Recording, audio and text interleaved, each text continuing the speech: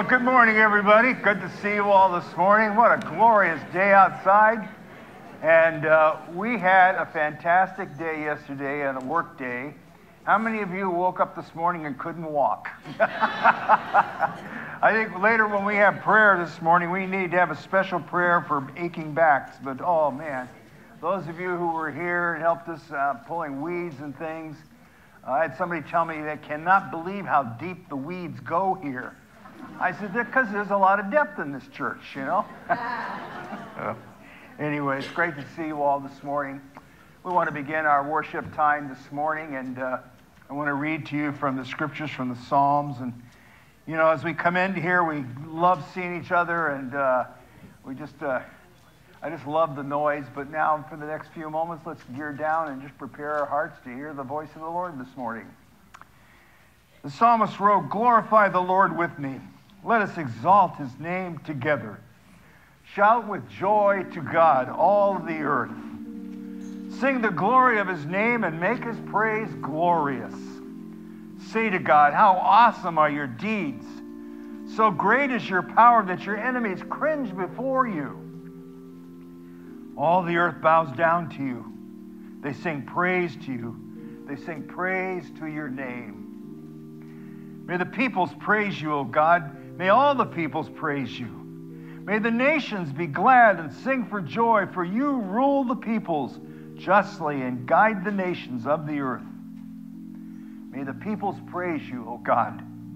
May all the peoples praise you. Let's stand together and let's pray. Father, we praise you today. We come into this place and you are the mighty God. You are the one who created all, and yet you are the one who reached down into the depths of our hearts to touch us with the hand of God.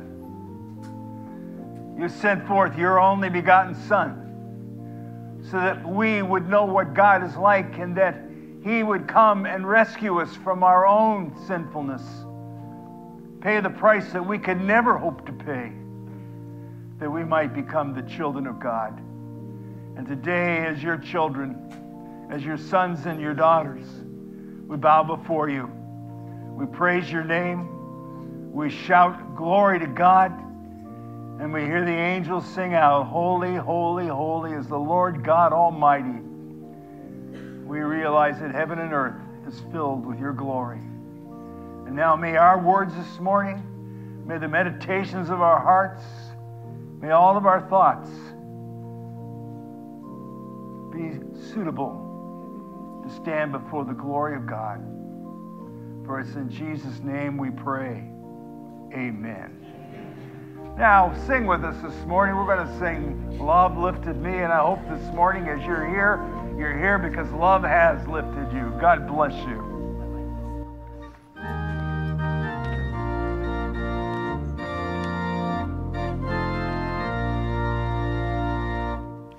I was sinking deep in sin, far from the peaceful shore, deeply stained within seeking to rise no more. But the master of the sea heard my despairing cry. From the waters lifted me, now safe am I. Love lifted me, love lifted me, when nothing else could help.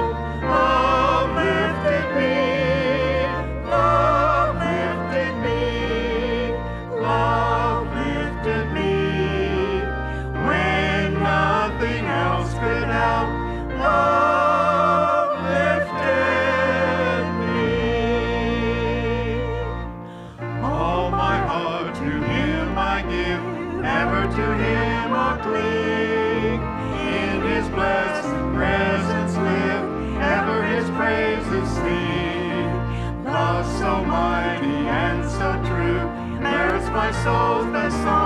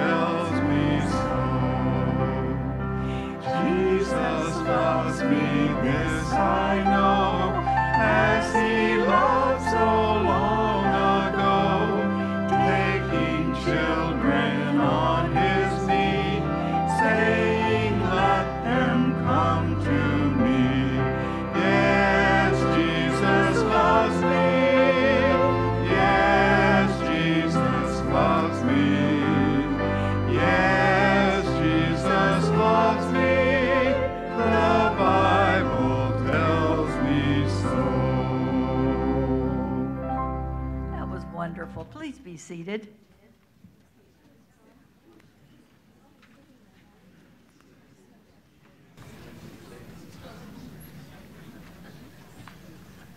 So we all have the pleasure this morning of uh, participating in reading God's Word together. So join me. I, I'll start with the first part, and then Carol will help you all read the second part. Oh God, you are my God, and early in the morning will I seek your face, for my soul is thirsty for you. I desire to see your glory in the songs of praise. I will sing to you in your holy sanctuary. Because your loving kindness is better than life, my lips shall praise thee, and I will bless you while all the days of my life I will lift up my hands to your name. O God, you are my God, and my soul shall be satisfied with your love, and my mouth shall praise you with songs of love. I will remember you and consider your blessings in the difficult days and rejoice as I take my rest in the shadow of your wings. I love you, O Lord, and I will search carefully for your ways as your right hand strengthens me. I will wait upon my God, for from him comes my salvation. He alone is my rock, and I shall not be moved. Let us trust in our God at all times. Let us pour out our hearts before him, because his love is everlasting. O God, you are my God. In the evening will I seek your face, for in the blessings of your love my heart rejoices. I hear your glory in the songs of our praise. I will sing love songs to you in the holy sanctuary. Now, may the words we just read continue in your heart throughout the day. Thy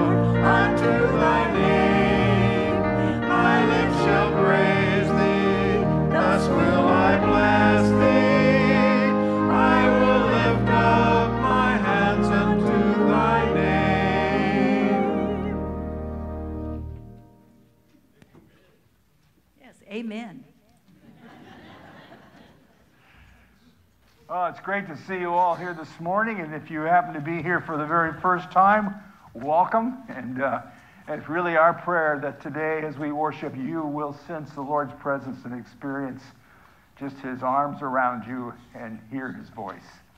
Anyway, this morning there's several things I want to highlight in our program. But first of all, we want to just recognize these flowers this morning. They are in honor of Hank and Mickey Correa's 48th wedding anniversary, which will be on Wednesday. Hank and Mickey, you're back there. Stand up. Let everybody see you back there. Happy anniversary. God bless you guys. Wonderful to see you this morning. Now, next Sunday will be Palm Sunday, but among other things, in the evening we will have a movie night and hot dogs and popcorn.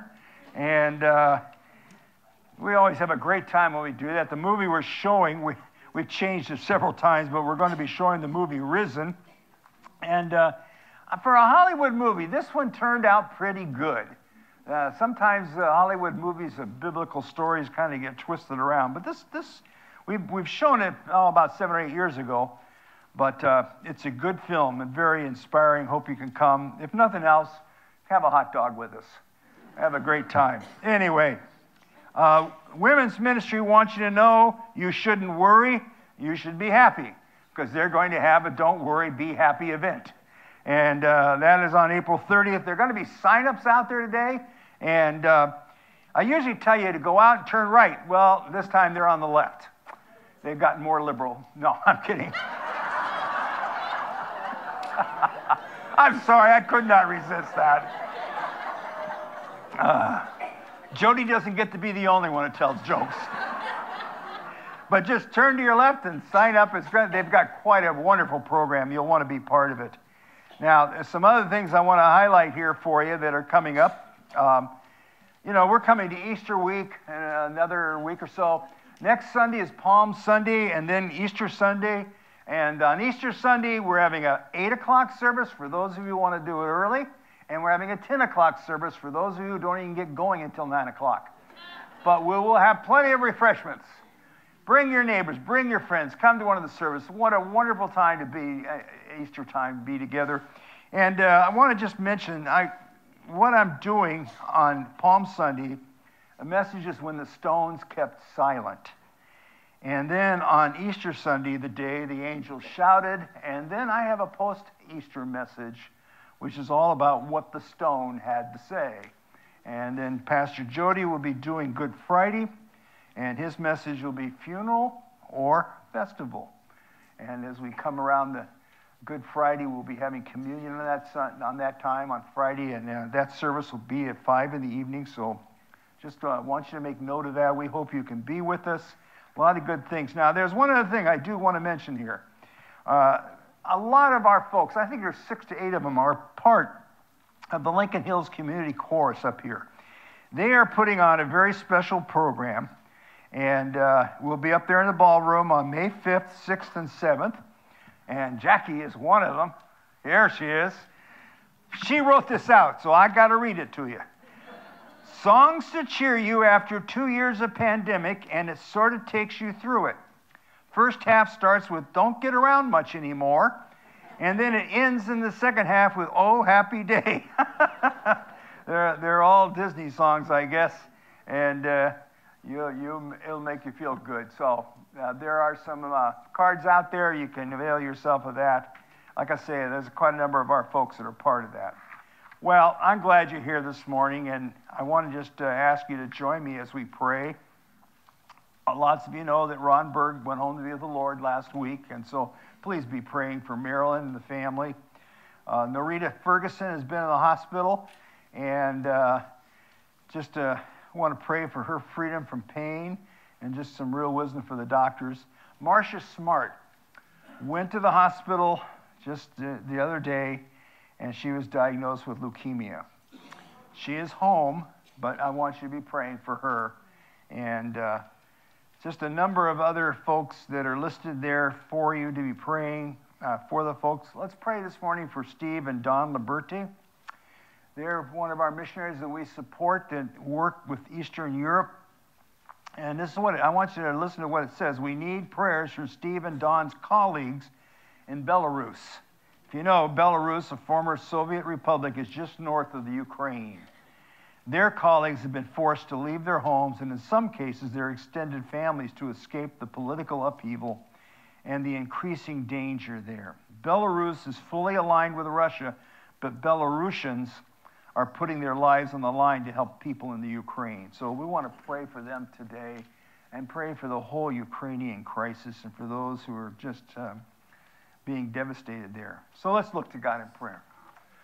Father, we come today. Uh, you are the Father of all mercies and the God of all comfort. You are the God who holds history in the palm of your hand. There's nothing happening that has escaped your notice. Today, as we come, we pray for the nation of Ukraine. And for those who are in Belarusia, choosing to help those in the Ukraine at great danger to their lives. Father, we pray for peace. We pray not only peace militarily and politically, but we pray for the peace of God that passes all understanding, that it might begin to guard the hearts and the minds of those who just have been devastated by this invasion. We would even pray, Father, for those in high places in Russia that the peace of God that reaches into the depths of a man's heart would touch some of those responsible for this invasion. Give great wisdom to our leaders in our nation to know how to help and how to respond. Lord, you are in charge of everything. There's nothing that's escaped your notice. We, we do not begin to understand how all these pieces fit into your puzzle, but we know that you have a perfect portrait of the end days. So as we wait upon your hand, let us be faithful. Let us be people of prayer. Let us be people of consistency in our walk with you. And may we never cease to fail, never cease to be praying for those in high places that they would make right decisions. Today, Lord, I pray for Marilyn and Narita Ferguson, Marcia Smart, and many others we've listed here. That, Lord, you would touch their bodies, touch their lives where they are needed right now. Help them to find your peace. And Lord, where there is healing needed, we ask that you would bring healing. And where there is not to be healing, that you would bring grace and length of days. And uh, Lord, we all here today, we're all on our way home one day. So let us turn our eyes on Jesus, the author and perfecter of our faith, who for the joy set before him, despising the shame, the shame of the cross, nevertheless, suffered for us, and now is sat down at the right hand of the Father. He's just waiting for us one day to come home. And we look forward that day when he says, Well done, my good and faithful servant. And Lord, as we pray, we pray as you taught us to pray. Our Father, who art in heaven, hallowed be thy name. Thy kingdom come, thy will be done, on earth as it is in heaven. And give us this day our daily bread, and forgive us our trespasses, as we forgive those trespass against us. And lead us not into temptation, but deliver us from evil. For thine is the kingdom, and the power, and the glory forever. Amen. God bless you all.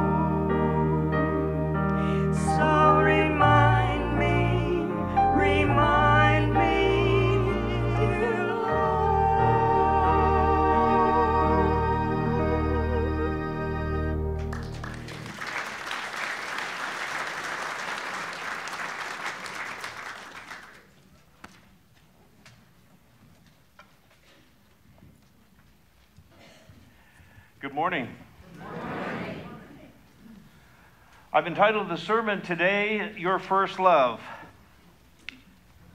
I met Tricia in the youth group in a church in the South. That was Southern California. I had been at this church for a number of years, and I remember one Sunday night we had a youth group meeting, and there were four or five pretty young women that came in, and they were all good looking. But there was one that I said, Wow. Wow. And, gentlemen, when I say that and I do wow, you know what I mean, don't you? Well, it wasn't too much longer that I, w- I got brave enough to ask Tricia out on a date. And she was dumb enough to say yes. and I remember I took her to McDonald's and the budget walk in theater. I was a big spender back those days. And I really don't remember. Do you remember if I kissed you on the first night? The first date? Oh, she's in this, yeah. So I know, I, you know, I couldn't remember if I actually did, but I know that I tried.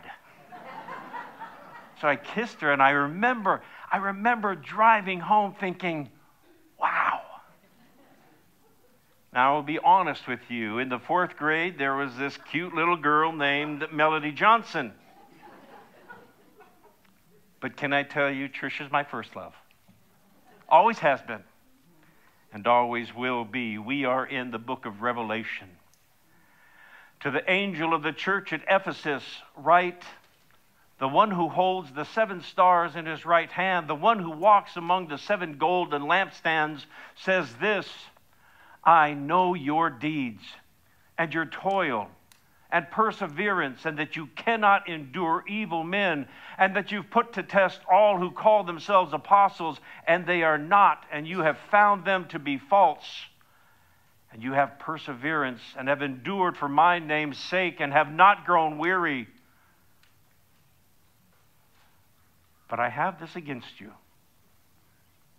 You have left your first love. Let's pray. Our Heavenly Father, we thank you that you love us and call us your children. We thank you for the blessings that we've seen today and the hope that we have for tomorrow. We would pray, Heavenly Father, for the next 15 or 20 minutes that you would keep the world outside, that you would speak to our hearts and our minds. Father God, draw us close to you during this worship service. And Lord, when we leave, let us be able to say, It was good to be in the house of the Lord. For we ask these things in Jesus' most precious, his most powerful name. Amen. Do you remember a number of years ago there was a TV show called The Newlywed Game?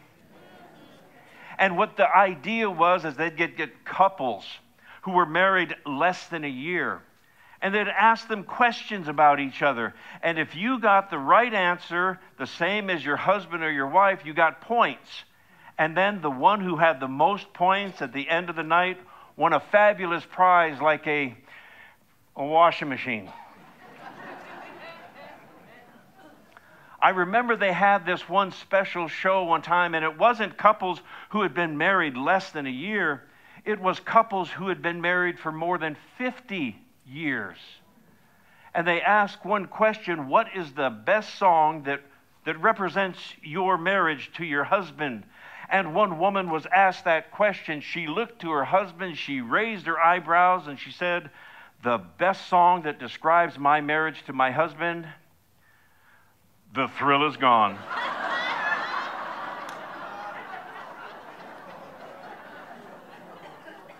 Now, it was a great answer, and the, the audience thought it was the funniest answer they had ever heard. Now, of course, of course, she still loved her husband. But the fact of the matter was the wow. The thrill was gone. The passion, that excitement, that thrill that had brought them together in the first place was gone. And Jesus says to the church, I have this against you. You have left your first love. The scriptures that we're reading today are the words of Jesus as he speaks about the wonderful things that the ancient church in Ephesus had done and the things that they were doing. But in verse 4, he tells them, You have left your first love. You see, it was Jesus. It was Jesus who was their first love. And it seems to me that when we read the scripture addressed to another church in the Bible, we could very well see the passage as being sent to us here at Lincoln Community Church. And Jesus may just be speaking to us, and he is saying this that I know your love for me. I know your good works, but maybe, just maybe, the thrill is gone. If the thrill is gone, it's too bad for Jesus. And it's too bad for us. Let's go back to Revelation 1 to the angel of the church at Ephesus, write, the one who holds the seven stars in his right hand, the one who walks among the seven golden lampstands, says this. This is Jesus dictating a letter to the apostle John. He's speaking to himself about himself in the third person. And when he says, I'm walking in between the golden lampstands, theologians who know about this, such things suggests that the seven golden lampstands are the seven churches that are addressed in the book of Revelation. Jesus says, I hold the seven stars in my right hand. And again, the theologians figure that the seven stars are the leaders of those seven churches. And while the churches were actual churches in the day of the Apostle John, today they also represent every type of church in 2022. And so the message is true for every church. The message is true for Lincoln Community Church. And I believe that God has a special blessing for the church, for the Christian who opens the Bible and reads the Bible expecting to learn something from the Holy Spirit. We have this phrase in the Wednesday night Bible study, and the phrase is repeated every week. The Bible meant something to somebody else before it meant something to me. And the idea is this that 2,000 years ago, the Apostle John knew exactly what he meant to these seven churches. And 2,000 years ago, these seven churches understood what John was saying to them. But for us, we are separated by 2,000 years. We're separated by culture. We're separated by the language. You see, there's no way that the Apostle John could know what it's like to live in Lincoln, California in 2022.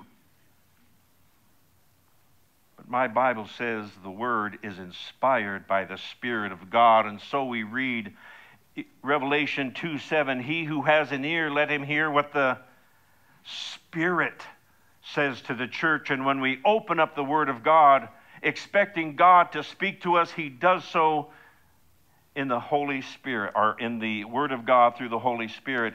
He who has an ear, let him hear what the Spirit says to Lincoln Community Church. And while the church, while this message is directed to Ephesus, we would be foolish not to pay attention to the message of the Spirit. And this is what the Spirit says to the Lincoln Community Church I know your deeds. I know your toil and your perseverance, that you cannot endure evil men, that you put those to the test, those who call themselves apostles and they are not, and you have found them to be false, and you have perseverance. You have endured for my name's sake and have not grown weary. My brothers and sisters, God the Father knows the deeds of Lincoln Community Church. He knows of our hard work. He knows of our perseverance and the hard times that we've had in the last two years. that we cannot endure evil men, but that we have endured for the precious name of God, that we have not grown weary. God has blessed Lincoln Community Church. Somebody say, Amen. God knows our works. He keeps an account of our deeds, and our labor in the eyes of the Lord is good. What a wonderful church that He has given us. Look at all of our wonderful accomplishments. Praise the Lord.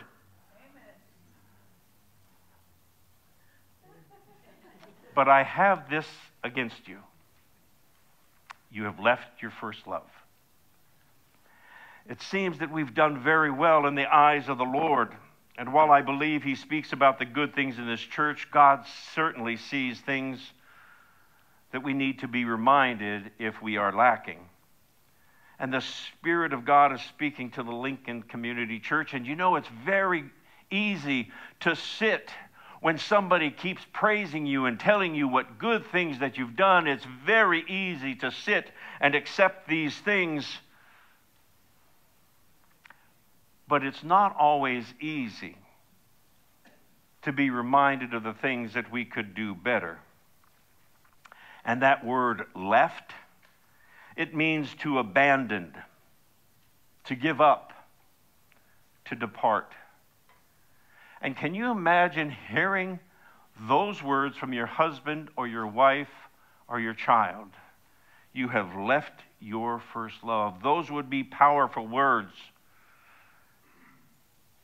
But how devastating to hear those words from the Lord Jesus Christ. And the Lord knows that we are human. The Lord knows that sometimes the thrill is gone, even though we still love God. Jesus told the church 2,000 years ago, You have left your first love. So let me ask you a question that I don't want you to answer out loud. Have we left our first love? have we simply, casually, carelessly walked away from Jesus, our first love? The gospel of the Bible is simply this God created you, God loves you, and He looks at the majesty of the sun and the moon and the stars. He looks at the mountains and their mighty rivers, the forests and their great trees.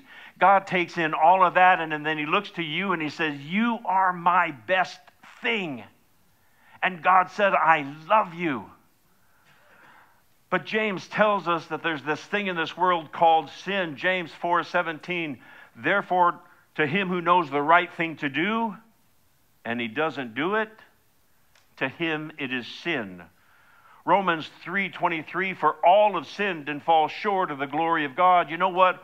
When we stand next to a thief, a liar, or a cheater, we look pretty good, don't we?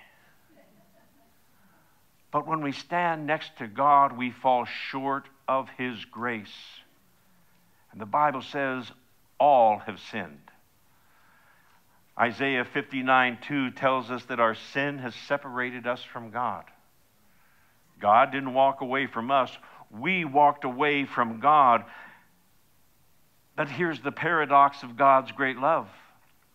John 3:16 for God so loved the world that he gave his only begotten son that whosoever believes in him shall not perish but have everlasting life. 1 John 4:19 we love because he loved us first my first love. From the very beginning of time, God the Father was our first love. And I don't know about you. I know that we're all different, but I remember in the fifth grade making that salvation prayer.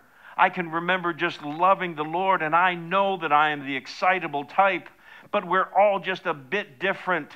Tricia is not the excitable type and I am. And when she called Jesus Lord, she accepted the love that God had for her and she returned that love.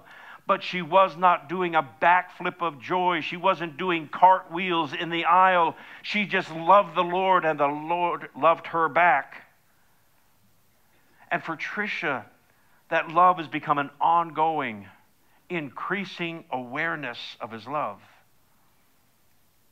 And when I first loved God, it was brand new. It was exciting. I was happy in the new life that I had found. And I realized that I loved Him because He first loved me. I first love. And looking back at that passion that I had more than 50 years ago, I ask myself, have I left my first love? Has the thrill gone away? Now, do I love God? Yes, of course. There's no doubt. But do I love Him like I was a teenager? Not always. But I think maybe that's not a bad thing at all.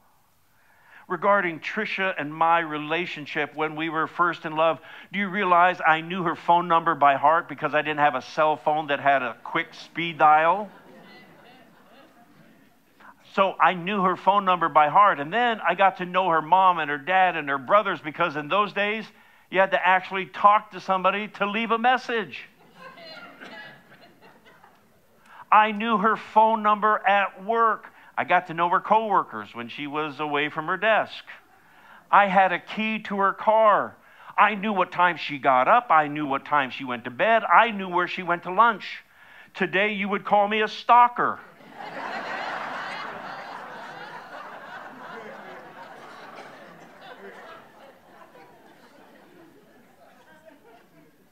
but back then, I was just in love. And I realize that my love for Tricia has matured over the years. And man, it's the same for my love for Jesus Christ. You see, there's a deeper love that we experience as humans as our love progresses 20 and 30 and 40 years and on. And sometimes that love is richer, it's fuller, it's more satisfying than that first love that we had in the first year of marriage. It's not always as exciting. It's not always as passionate. It's not always as thrilling. And I think maybe the same thing is true for the Lord. You see, I realize that my love for the Lord has matured over the years. In the Gospel of Mark, Jesus says, Love the Lord your God with all your heart, with all your mind, with all your soul, and with all your strength. And you know, like all of us, every once in a while, I forget that. And so the Lord Jesus tells Christians, He tells the Lincoln Community Church, He tells every seat in every row in this sanctuary. And what He's saying is this you have done great things. Nevertheless, your passion is not what it was before. And sometimes I think our desire for God got misdirected. Are we busy doing for the Lord rather than just loving the Lord? And I have to ask have we substituted the greatness of loving God for the goodness of serving God? Has our passion turned into a job? Today we're in Revelation, the chap, chapter 2, the verses 1 through 7. And let me suggest something to you.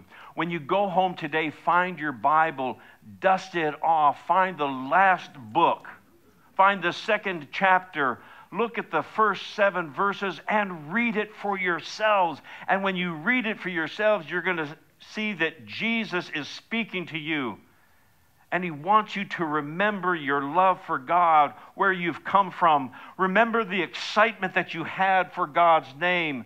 Remember our salvation. You see, we are told to remember those things that we have walked away from, and then, and then Jesus tells us to come back. We are told to remember the things that we did at first. Return to our first love with a passion that we once embraced. And carry on with the thrill of loving God. Revelation chapter 2, verses 1 through 7. Remember and return. And those are commandments for each of us. And I think there's no, uh, if there is no love, and I mean a passionate love for God, then we have to question has the thrill of loving God gone away? And while the message is clear for the Lincoln Community Church, it's a message for every believer, whether you worship at this church or another church. Let us get back to that passion, that thrill of loving God before anything else like we used to. And sometimes there's a great mystery in life for the mature Christian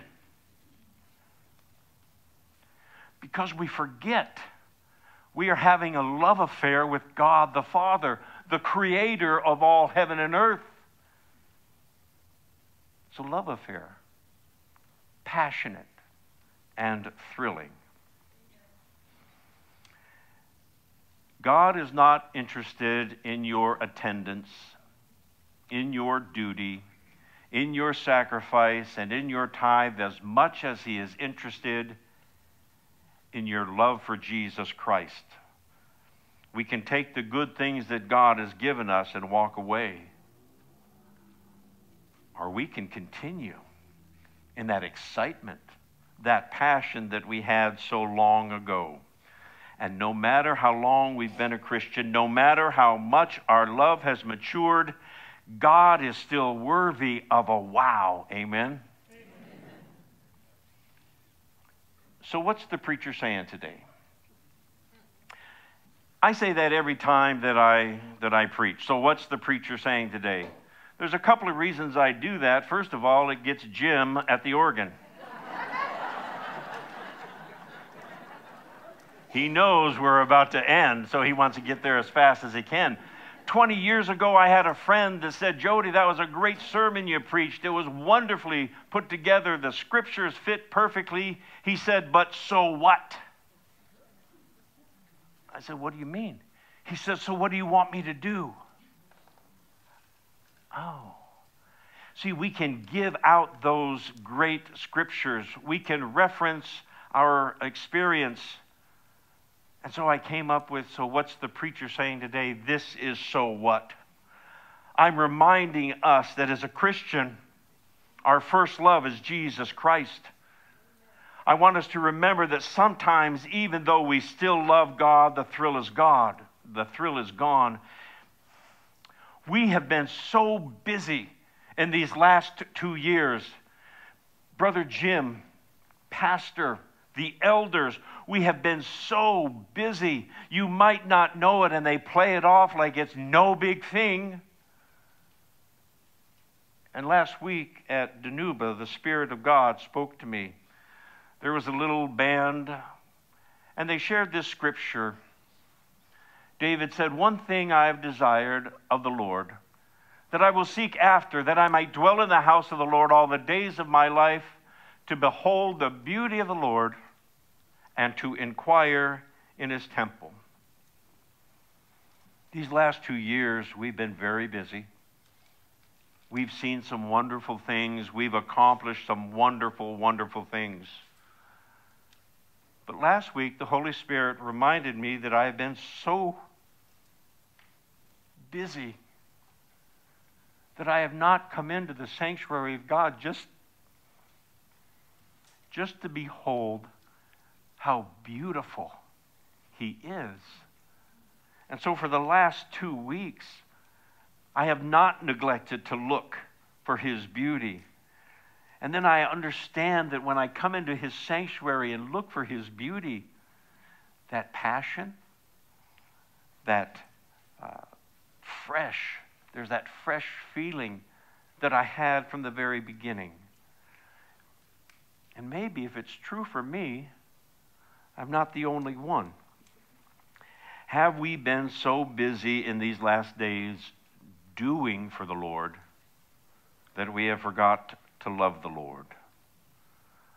Love Him with a passion, a fire, the thrill like we once did. I am reminding all of us that we are told to remember and to return that feeling of love because God is still worthy of a wow.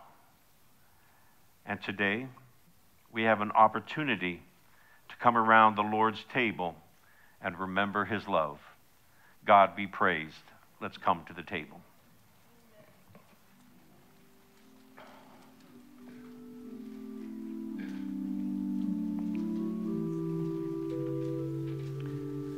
In the book of 1 Corinthians, the Apostle Paul is relating the events of the night on Jesus' Last Supper. And the Apostle Paul says, For I received from the Lord that which also I delivered to you, that the Lord Jesus, in the night in which he was betrayed, took bread, and when he had given thanks, he broke it. And he said, This is my body, which is for you. Do this in remembrance of me. Jesus gave them the bread, and then he said, Remember me. And in the same way, he took the cup also after supper, saying, This cup is the new covenant in my blood. Do this as often as you drink it in remembrance of me. Jesus gave his disciples the fruit of the vine. And he said, Remember me. For as often as you eat of this bread and drink of this cup, you proclaim the Lord's death until he comes. The bread the fruit of the vine are symbols of the body that Jesus gave on the cross and the blood that he shed for us because he loved us. And so we will come to the Lord's table remembering the love that God has for us.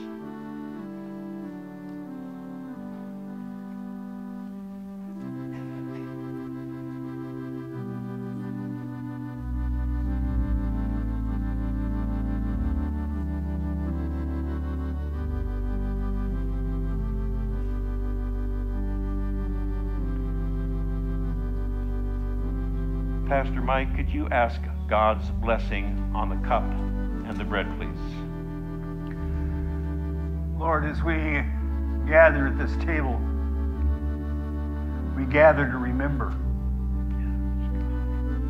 Forgive us when there are those times when we allow other things to crowd out our attention. But as we sit here today, let our minds be upon the cross. Yes. As we take the bread, let us remember that your body was given for us. We who sin had you who had no sin take our place upon the cross. And as we hold the cup, let us remind ourselves that without the shedding of blood, there is no forgiveness of sin, but the blood of bulls and goats and lambs will not suffice.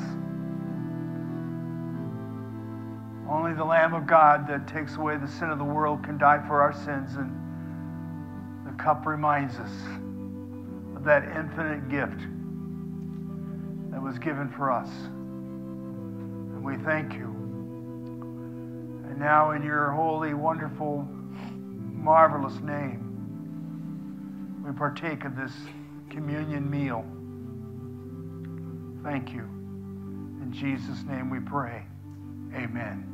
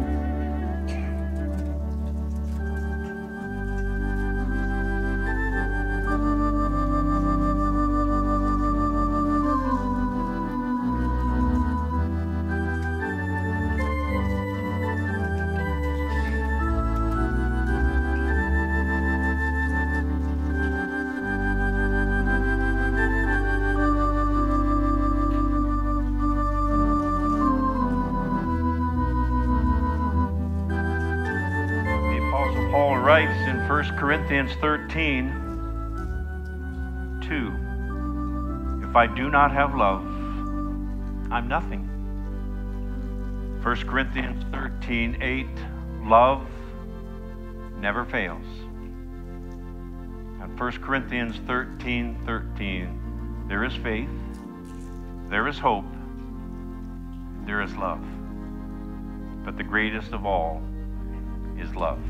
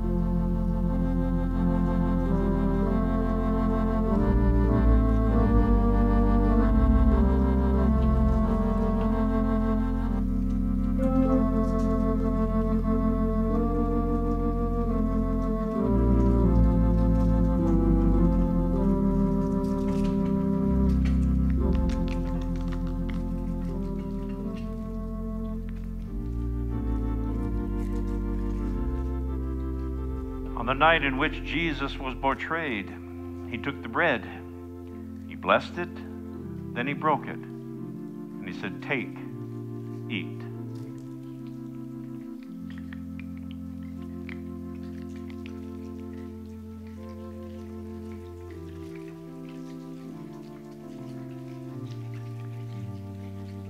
And on the night of the Last Supper, he sat around the table of love and he passed the cup disciples and he said, Drink ye all of it.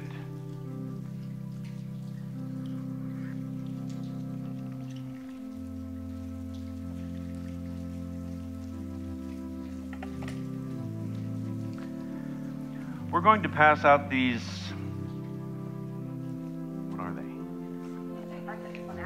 What baskets? That's what they are, yeah. And so our volunteers are going to pass the baskets, and then you can place those, uh, your cups, into the baskets.